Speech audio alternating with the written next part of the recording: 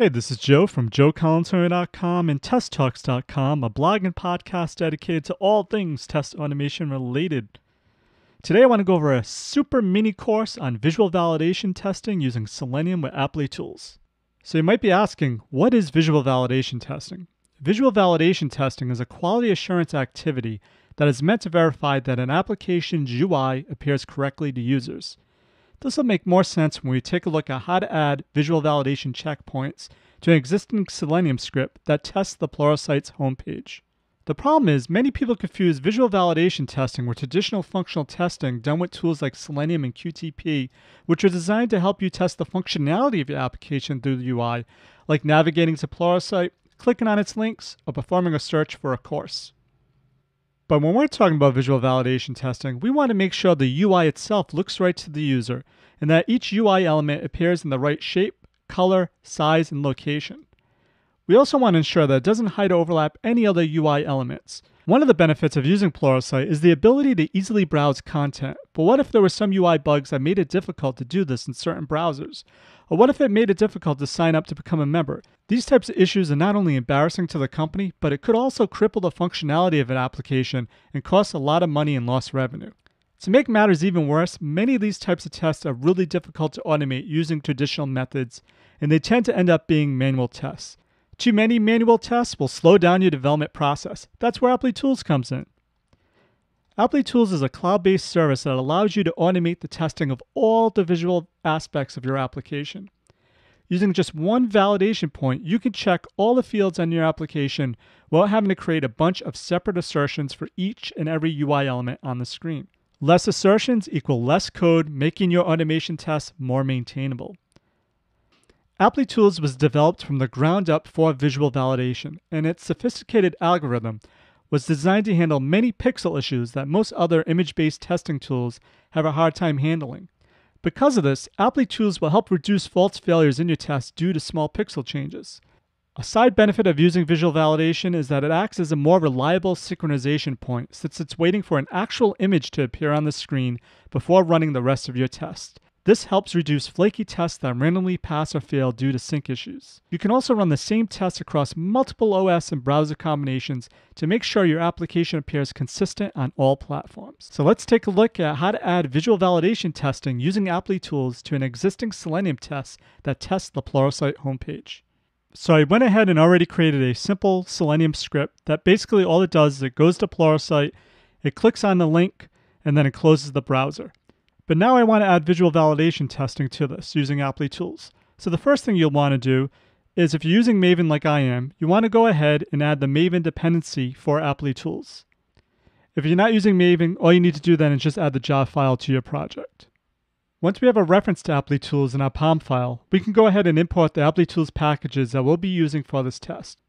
We'll go over what each of these are for later on within our code, but you just need these three eyes, match level, and rectangle size to start with.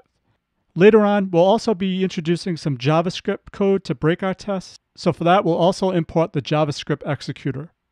So I'm going to start this off by initializing the eyes object. Eyes is the main object for the Applitools SDK. Once we have a reference to the eyes object, we can then access all its methods. So what I also want to do is I want to also set the API key. So this API key is unique to my account. Yours will be different. You can either hard code it in your script like we've done here, or a better practice would be to go ahead and put it in a properties file just because it'll make it easier to maintain in the future. Next, we're going to use the set match level method. Applitools can test the UI in four different comparison levels. The first one is strict, which will detect small changes in large images like a plus sign changing to a minus. I've worked on medical applications that use x ray images, so being able to detect these types of changes really helps find issues in the software that would be very hard to validate even manually. But for a dynamic website like Pluralsight, we'll use the layout option. The layout option ignores content changes and detects only layout changes.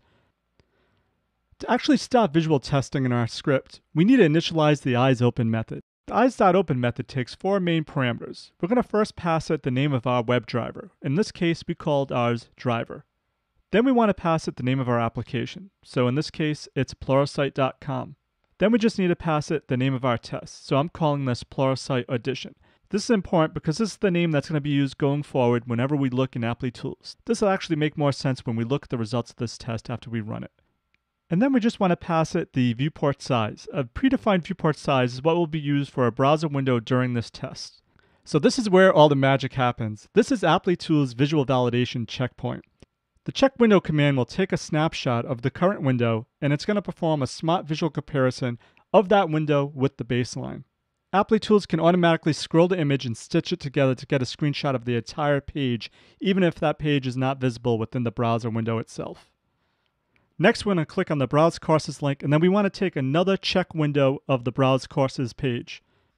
So let's run this and see what happens. So basically, it's going to navigate to pluralsight.com. It's then going to take a snapshot of the first window. It's going to click on the Browse Courses link, and it's going to take a snapshot of the second window.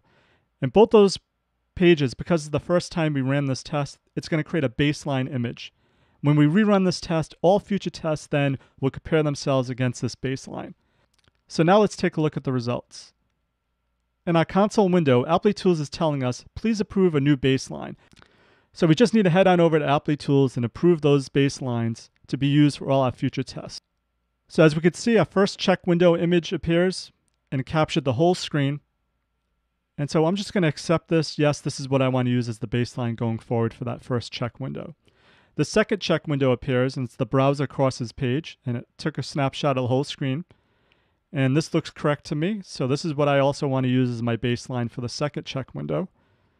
And then I'm going to save the results. Let's run the test again and compare the current results with the baseline images we just created. So the test ran again and there were no failures. Let's go back into Applitools and see the results. Applitools keeps a running history of all the past tests that you ran. So notice the test that we just ran past. If we click on it, we can see the results. So here's the image that was captured for our check windows. So the first check window is the first Pluralsight course, and the second one, browser courses. Notice there's no differences. If there were any differences that were captured during the test run, they would be highlighted in purple. So we can use the side-by-side -side view option to compare the differences. And notice there are none. So this is cool, but if you're like me, you got into testing to break things. So let's force a failure in our test and then see what a failure looks like in Applitools. So to force a failure, I'm just going to execute some JavaScript that basically takes the browser course title and it moves it 100 pixels to the right. So when we rerun this test, it's going to compare the current test results against our baseline, and it's going to flag it because it's going to notice a layout difference. Let's run it and then take a look at the results within Applitools. So the test is going to do exactly what it did before. It's going to navigate to the main Pluralsight course. It's going to take a screenshot of the first course. It's then going to click on the Browse Courses link. But before it takes the second check window, it's going to move that browser course title 100 pixels to the right. Then it's going to run the second check window. And Applitools is going to fail because it's going to notice that the current results do not match our baseline. So notice how the browse courses moved 100 pixels to the right. So as we expected, the test failed, and it gives us the URL of where to navigate to actually see the error message. So I'm just going to copy that and navigate to the error. So now notice there's some pink purple highlighted in our screenshot. This tells us that there's a difference between our current test results and the baseline. So if we did a side-by-side -side comparison, we could see that the browse courses title is definitely different. We could also see that by clicking on this highlight different locations, it'll point out the differences within our screenshots. If we had some new development and our UI actually change, we could accept this as the new baseline going forward, or we can reject it, or if it's an actual bug within our application, we can open up a bug within Applitools. So that's the end of this module on how to add visual validation testing to your Selenium tests. Hopefully you've discovered how to use visual validation testing to enhance your existing tests to give you the UI coverage that your current test suite is probably missing. We all know the sooner that we catch issues with our application before our customers, the chances are better that our customers will be delighted with our application. Visual validation testing is just another technique in your testing toolbox to help you achieve this.